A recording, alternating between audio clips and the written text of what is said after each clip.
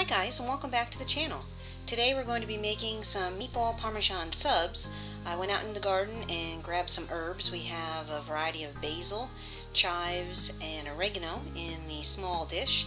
And then the white one we have some mint. We're going to use that for the sweet tea. We have some diced onion, minced garlic, and some chorizo that we're going to use as the base for our tomato sauce. Stay tuned.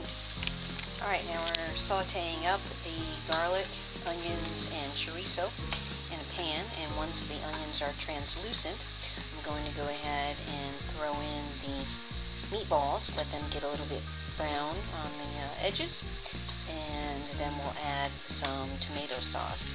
It's a store-bought tomato sauce, the cheap kind. It's only like a buck a jar for 23 ounces, I think it is. I'll show you that in just a second. We're using mushroom flavored and I'm not too worried about it being cheap sauce because like I said before we're going to go ahead and jazz it up with all these fresh herbs from the garden and additional seasoning so by the time we're done we'll be able to take that cheap jar of sauce and make it taste like I spent all day in the kitchen or spent a lot more money on it anyway. We're going to be cheating today just a little bit. We have these Italian meatballs that we got at the grocery store. It was two packages for six bucks. Can't beat that. It was a lot cheaper, believe it or not, to buy the meatballs pre-made than to go ahead and buy the meat in bulk and do it myself. Uh, I know that sounds crazy. Normally it's the other way around, but that's how it worked out this week. So that is exactly what we're going to do. Is just take these pre-packaged jobbers and uh, use them to make our meatball parm subs today. I'm just going to go ahead and plop them in. Maybe. Looks like they're stuck to the container. The meatballs are in there now. We're going to go ahead and add a little bit of iodized salt. I'm not adding any additional pepper because the chorizo should add enough heat and we don't want to overpower it. We're also going to go light on the salt because chorizo tends to be a little salty sometimes. Now that the meatballs have gotten a good sear on them, I'm going to go ahead and add the uh, ragu. That was what was on sale this week. Mushroom flavored. It's uh, kind of smooth. It says rich and smooth, but by smooth I mean thin. It's kind of less than marinara um, thickness, I would say.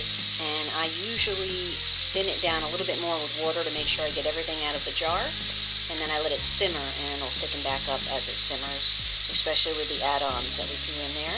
We're going to put this sauce in there, throw in the herbs, and then I'm going to turn the heat down and let it simmer for maybe 10, 15 minutes, we'll see. And as you can see here, I've put the water in the jar, shaking it up, and as you can see here, it does take out a lot of the um, sauce that normally sticks to the jar. And we're just going to go ahead and pour that into our pan.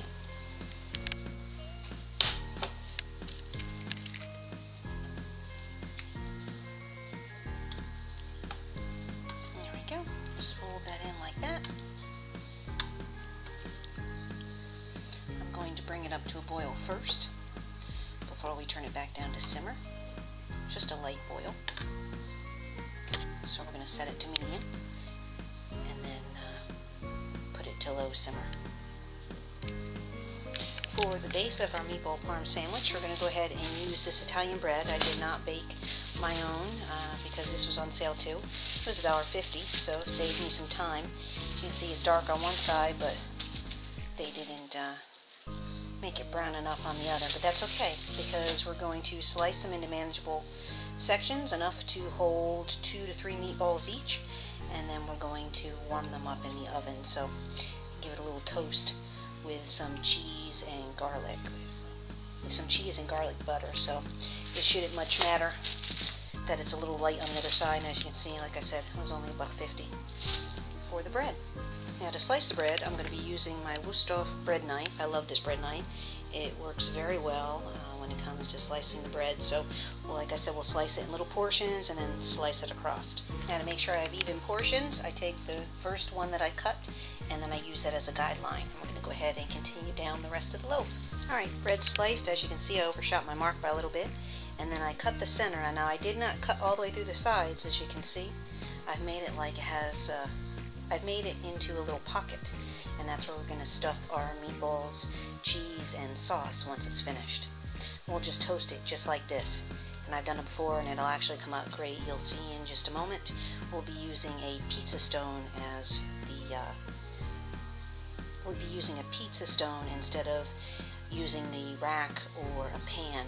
Uh, the pizza stone will give a nice color on both sides. You'll see that in just a minute. Alright, while the sauce is cooking down, we're going to go ahead and work on making our uh, iced tea, mint flavored iced tea for dinner. I've got the fresh mint from the garden. I'm going to go ahead and chop it up in my little mini food processor, throw some sugar in there into the water. We're going to nuke the water, get it nice and hot so the sugar dissolves. Then I'm going to take the ground up mint leaves and put it in my little uh, tea steeper, ah, tea steeper, and um, throw that into the boiling water and let the mint essence of the mint infuse itself into the tea mixture. Alright, we've got the bread in the oven. We have our iced tea chilling in the fridge, meatballs. The ones that we're having today are a mixture of pork and beef, so I'm looking for an internal temperature of 165 degrees Fahrenheit, and um, doesn't look like we're quite there yet, so got a little bit longer for them to cook.